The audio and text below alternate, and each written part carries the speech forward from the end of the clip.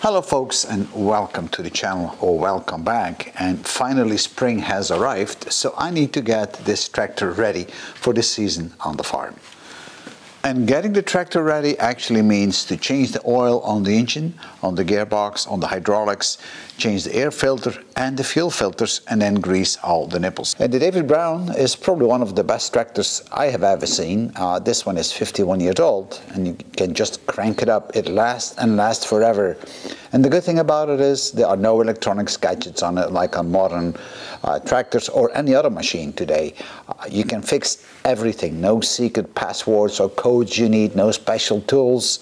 So this is really great to work on tractors like this. And by the way, David Brown was also the guy who actually built the Aston Martin. So the David Brown 990 uh, and also his companions, the 880s and the 1200s, they are all kind of the same, has a diesel engine fitted. Now this one is a four cylinder diesel. It doesn't have the wet sleeves like the previous model. So the liners are fixed, so the sleeves are fixed, so you can't take them out. Uh, it has a displacement of 3.2 liters and I think this is around 187 cubic inches.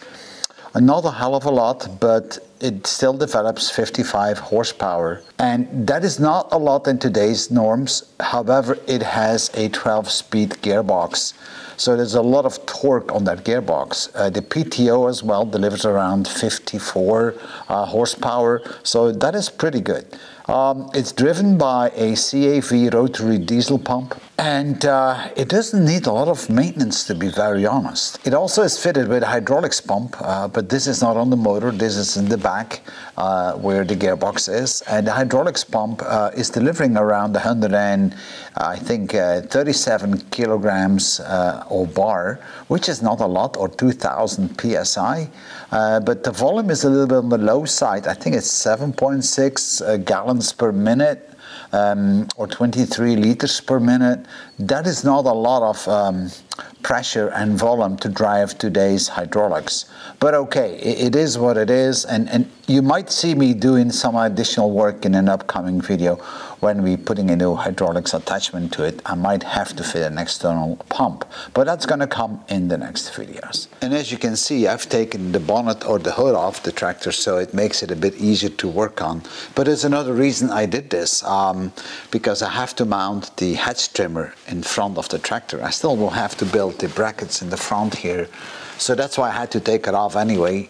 So uh, that's the reason why you see the bonnet being removed because you don't need to remove the bonnet actually to work on the engine to change the oil or the fuel filters or even the air filter. There is no need to do that because you have access to it by actually removing a grill in the front and on the sides you have full access anyway. So let me show you that hatch trimmer because I mentioned that and where we're going to mount it. But that's going to be for another video, but I still want to show that to you so you know uh, what we are up to in the next coming videos. You might remember from a previous video that we were having this Chinese hatch trimmer and that's the one where we had some issues with. Um, it was a bit flaky, very hard to control. And we know that the uh, valve block here isn't working all that great, especially not with this cable-driven controls. I mean, this is pretty cheap stuff, so it's not surprised that it's not working too well. So we're going to change all that in the next video. But the point is that I want to mount this whole unit in the front of the David Brown tractor, so all the way on the nose. And that's also why I have actually now removed the hood, because that's going to be the next thing I'm going to do in a video for you with a new valve block, with new joysticks, electrical joysticks to control uh, this hatch trimmer. So uh, that's coming up very soon anyway, and after that I have some more old Rusty movies. But let's go and start to change the oil. The engine takes about 10 quarts of oil and I'm always putting in 15 W40, but I'll come back to that. I'm changing it about every 125 hours and uh, I'm changing the oil filter which is fitted right here in this enclosure and for that you just need to undo this bolt and then the whole thing comes off and inside you will actually find the oil filter and this is the new oil filter that will fit. I'm changing this about every 258 hours. Now the oil I'm changing as well every year even if I don't have 125 hours of service. Um, but don't take the oil filter off uh, before you have drained the oil out of the sump. Um, I will also take off the sump uh, today and I'll show you where the mesh filter is that is actually in front of the oil pump because that often gets clogged up over all the years. I haven't done it on this tractor so I hope it's still there because I did not own this tractor from new. And filling the tractor with fresh oil is pretty straightforward. There's a filling cap right in the front just behind the uh, radiator and you can just actually remove it and then fill it up with fresh oil. And if you want to check the oil, there is a dipstick on the side like on most old tractors and you can check the marking on it. Let me wipe off the oil and you can see a low and a high mark and that's all there is to it. And while we are changing the oil in the engine, we're also going to change the oil in the air filter. Now, this may sound very weird to you because an air filter with oil is not that common. But it was common on these tractors and other tractors. In fact, a lot of heavy machinery has that kind of wet filters, as we call them. On the bottom, you have a pot of oil, and you actually have air coming in through the top ducting. So air is sucked in at a certain at a certain speed, and the heavy particles they will go straight down because of the velocity, and they're going to hit the surface of this oil, and they will get stuck in the oil. So typically, you will find a pretty big smudge inside after a while, and all you need to do is just wash this out and put fresh oil in it. Very handy. Now on this tractor, I think there's something really cute. Um, you can see the air intake and the return, which is going back to the engine, seems to be going to the radiator. See how that goes into the radiator and then back out and then it goes to the intake manifold? Well, in essence, it is not going inside the radiator, it's just a feed through. I, I think this is really weird. I have never seen that before, uh, that they're feeding a air hose through the radiator. I don't know exactly why. Um, maybe it had a reason. Maybe it preheats the air a bit. Don't know. Anyway, uh, it is what it is. The oil that I'm using for the tractor for both the gearbox, the hydraulics and the engine is actually Tractor ELF um, ST3 and I'm using a viscosity of 15 W40. Now I know that's not the standard viscosity that they recommend in the manuals. So 15 W40 oil is a bit thicker than the standard oil they actually prescribe for these tractors. Typically you would see a 10 W30. Of course, it all depends a bit where you live, but the climate I live in, I think the 15W40, specifically made for tractors, is a much better choice. Now, the first number, the 15, talks about the viscosity or how liquid is the oil when the engine is cold. And the second number is when the engine is hot, so when the oil is at operating temperature. So the higher the number is, the less viscosity, so the thicker the oil will be. Uh, the lower the number, the more liquid the uh, oil will be. So I don't want to have a too liquid oil in this tractor. It's an older tractor, it has wear and tear on it, so it can benefit from a little bit thicker oil.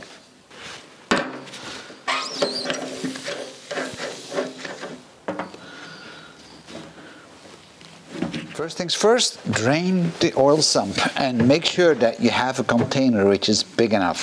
Uh, I'm using an old plastic container where I cut out a piece uh, and that certainly is going to be able to contain uh, the 10 quarts of oil or the about 7.8 liters of oil that's going to come out of the oil sump. So I'm using a socket 20. Now it may be different on yours. There we go.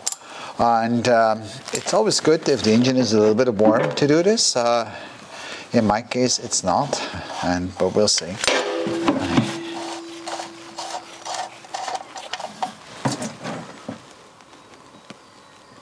Can see on the color that's about time that we're actually going to change it because it's pretty nasty. Well, it looks like the sump plug is still all right, but it had better days. And farmers are quite often inventive, so I think what happened is they had actually worn out the grabbing area of the nut or the inbus and then they welded on a nut on top of it. That's the way people do it sometimes and like I said, farmers are very inventive people. So the next thing to do is to remove the oil filter while the oil pan is still dripping. So I'm going to place a piece of cloth here just to catch most of the oil. Don't know how much is going to come out of it. Now the nut on this one is a 5 8 As you can see it's not very tight. So let's see how easy it's going to be to get this off. Uh, let's see if we can get this guy off. And as you can see, there's still a whole bunch of oil coming out of it. So that's why this is a greasy job, guys. Keep that in mind. But as we are grease monkeys, we don't mind this, do we? And we're also going to clean out a little bit the whole surface of the filter. And for that, I'm just using some brake cleaner. It evaporates very quickly and it cleans quite nice.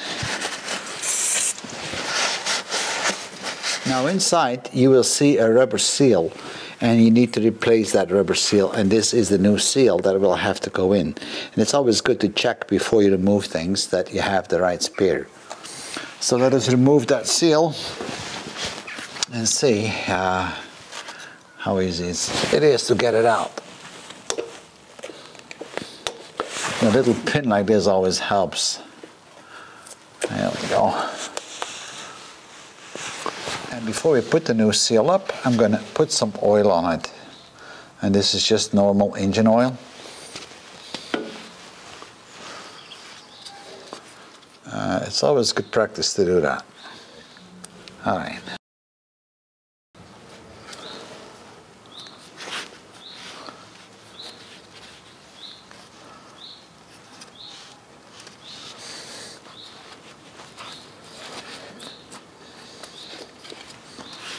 It should go in quite easily.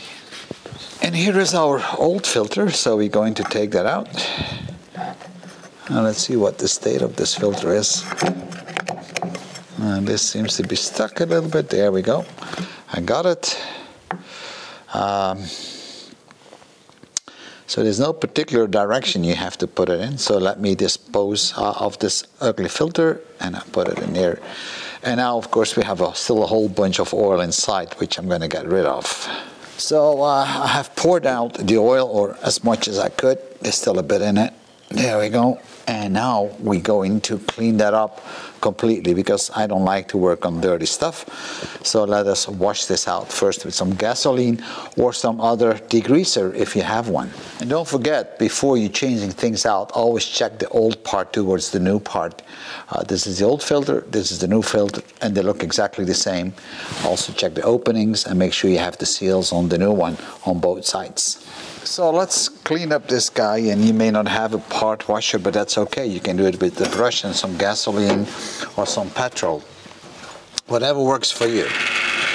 I've been doing this for a long time without a, a part washer like this um, but I do find this very handy. Now I'm to let it sit on the side and drip out. We're also going to clean out the air filter because there's a lot of oil inside. Now to do so you need to remove these clips and then the thing comes out. But be careful because this whole thing is filled up with oil so hopefully we can get it off in a proper way. Alright. And inside the oil can you actually have this meshed wire and this is the real filter uh, I already took it out. You may have to prime it out with a screwdriver uh, to get it out, but it's, it's easy to get it out. And now we can actually um, clean all that up. So after you've given the filter a good wash, uh, it's time to blow it out and try to blow it out in the opposite direction of the airflow. So the airflow is from the bottom to the top, so we're gonna blow this direction. That's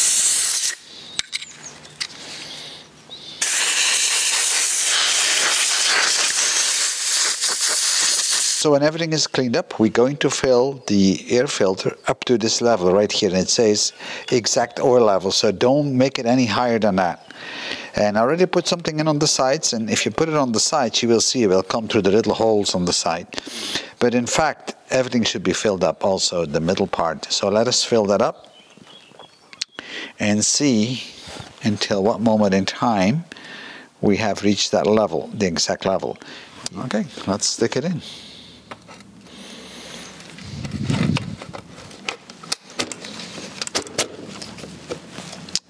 There we go. So the filter is ready to be installed. So before we put the filter up, I always tend to spray a little bit the maze here with some oil. And now we can actually install the filter. Make sure that you don't tilt it because otherwise you will spill all the oil.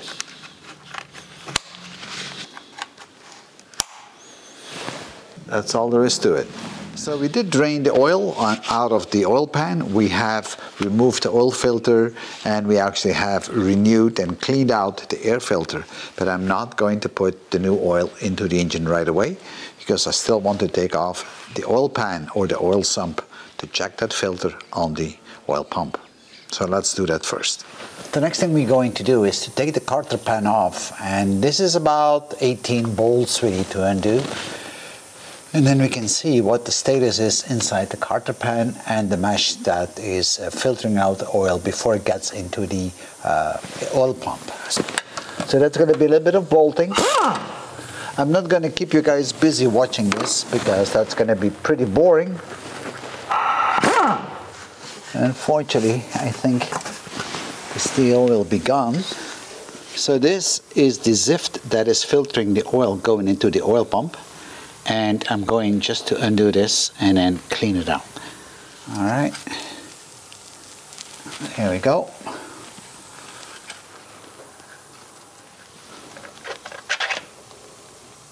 Now let's clean it up. Here is a piece of debris, you can see that. And there's more on it. Um, these are small metal particles, God knows how long, but that's where I'm cleaning it. So I'm just going to use a kind of a degreaser just to degrease it.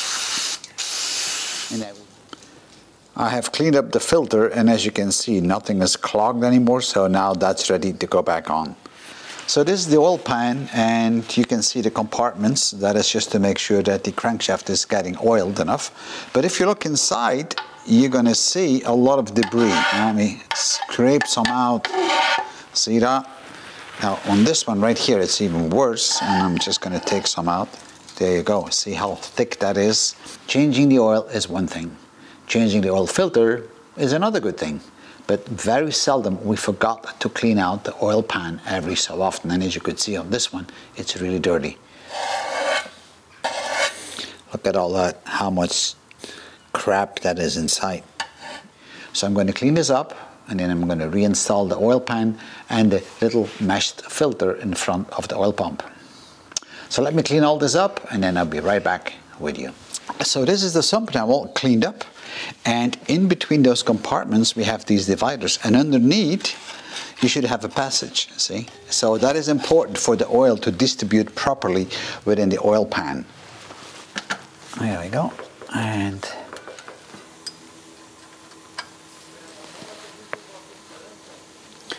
so let's see if we can get the sump back on.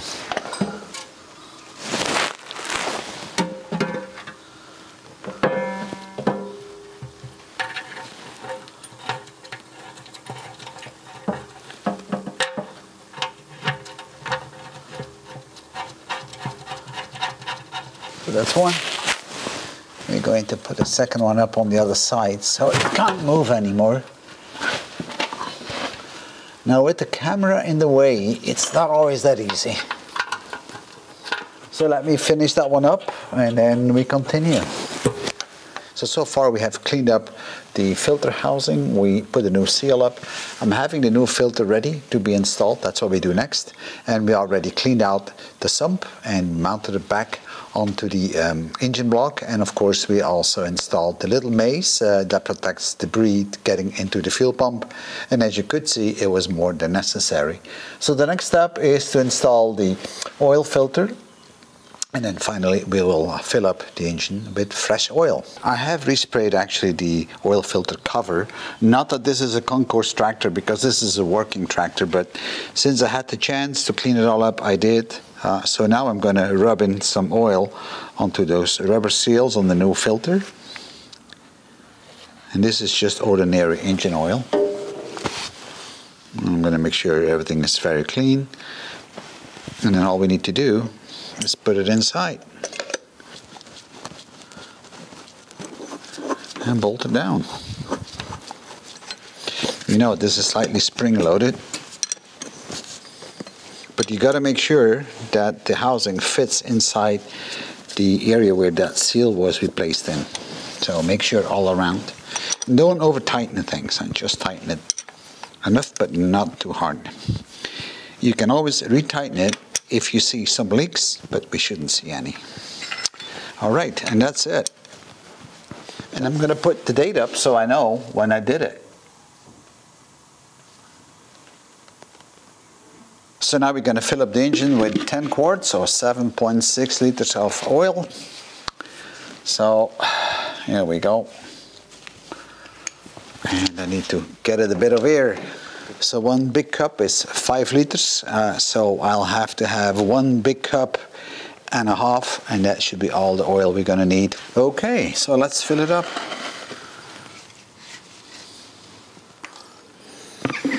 All right, let's just clean this spill. So that should be enough. And let's check it. Mm, I see. So we are slightly over it, but that's okay because we still have to fill up the oil filter and there's no oil around the engine. So I just filled it up with 10 quarts and that should be good enough. So now we're going to change the diesel filters. Now this is a diesel and I have a primary filter and a secondary filter. The primary filter, uh, this is something I change about every 500 hours. The secondary filter, probably about every 800 to 1000 hours because that doesn't get that polluted because it's already been pre-filtered by the first one. And of course, uh, once we've done that, we will have to prime or we have to bleed the system. And bleeding it is very easy. We'll uh, open up this nut there on the top, so let air out, and then we'll pump it up with the diesel pump. And then uh, we close it up again, and then we move to the um, diesel pump, uh, the injection pump, which is right here, and this is a CAV pump. It's a rotative pump. And then we're going to, first of all, on the housing of the pump, open up this bleed hole. And then afterwards, we'll do it on the top here and open up that bleed hole while we keep pumping uh, fuel in. Now, normally I don't think I will have to bleed the pump because the filters are high up, so I'm not going to lose uh, diesel in it. But sometimes the filters are lower and then you have to bleed. So let's uh, start removing this. It is only a bolt in the top that I need to undo and then the whole thing comes down. I'm going to put some plastic up here so I don't want to get the diesel all over the place. So let me do that first. Oh, and by the way, uh, these are the new cartridges that are going in. Uh, what you see here are actually cartridges. This is a new cartridge. This is the filter. So you can take those out. Uh, this, this will stay. This is the housing and they will come down and then you can take the cartridge out and then put a new one in. And it comes with rubber seals as always. Um, here you go. These are the seals that come with it, so don't forget to put those up. Uh, but we'll do that in a few seconds. So, and you might want to lock down the fuel coming into the fuel pump uh, because otherwise it may be streaming out. So let's undo the little bolt on the top and then the filter should come off. I was hoping I could do it with my finger, but no such luck. Can already see some diesel coming out of it. You're always going to have some leaking, so that's why I have a cloth underneath. I might want to take a bucket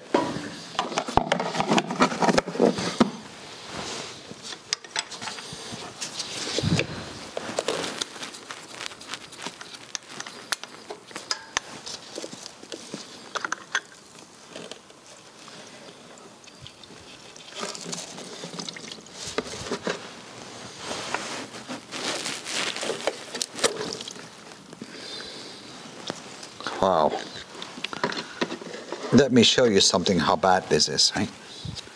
So have a look guys, uh, see the filter? Was it necessary to change it? I would say yes, it's bloody awful. So I cleaned the, the housing of that filter and you've seen how dirty it was. So if you're going to put it up, there is a seal that goes on the bottom, like so. Then the filter goes on with the smooth surface on the bottom. So it fits like this. Text always readable upwards. And then you have another seal that goes on the top and that goes actually inside the housing that still is on the tractor.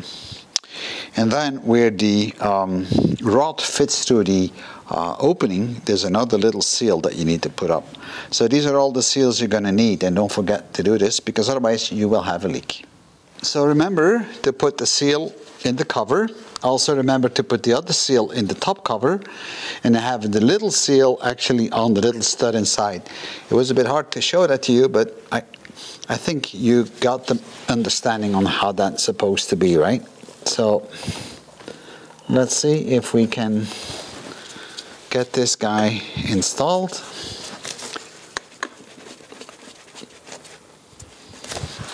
I think we can. It looks like there's still some fuel coming out of the uh, valve and it isn't fully closed so that's why you see that fuel still coming. But all right, here we are. Um, and that should now be almost right. So you see, uh, it already stopped leaking.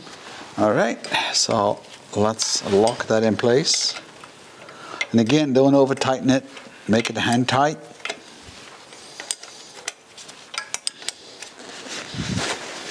And see if you have any leaks or not. So there we go. So that's the first filter. So now we will do the second filter. We installed both the filters, the pre-filter and the secondary filter. The David Brown tractor is an amazing tractor. I mean, if you look at these filters, how dirty they are, and this thing kept on running. It's kind of amazing. And it starts immediately. It always did, even though the filters are really clogged up and real dirty. So this was the primary one, and now already took a lot of dirt off. And this is the secondary one, which also has dirt on it. So now the tractor should be really be good. So now we need to uh, bleed the system. Now, I don't think I need to bleed a lot on the uh, injection pump itself, but we'll have to bleed for sure uh, the two filters. And there's a bleeding bolt on the top here, that's the one we need to release, and then we're going to pump uh, on, on, the lever on the manual fuel pump until we have fuel coming out here and no more air bubbles. And right now, as you can see, nothing comes out. So I'm going to go to the other side and keep pushing until fuel comes out.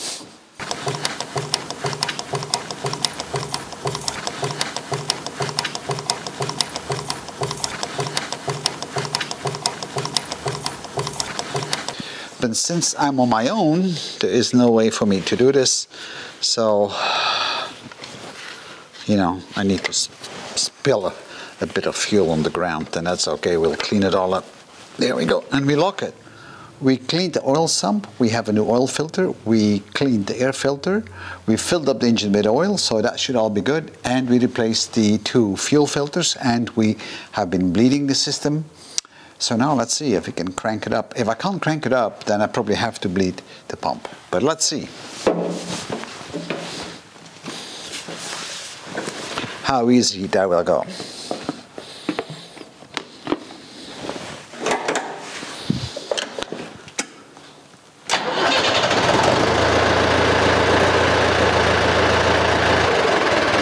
Now that is pretty amazing, isn't it?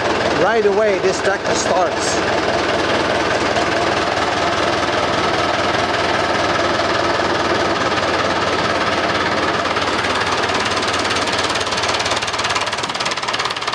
You want to do a check to see if you have no leaks, and that looks all right. So uh,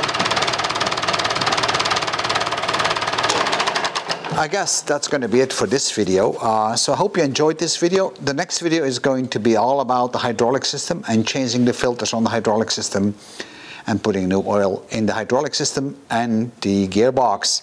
Initially, I planned to do it on in this session, but this video is going to be too long otherwise. So I'll see you in my next video and give me a like if you like it, give me a thumbs down if you think something is wrong, but tell me what is wrong so I can correct myself next time. Thank you for viewing and have a great day. Bye bye.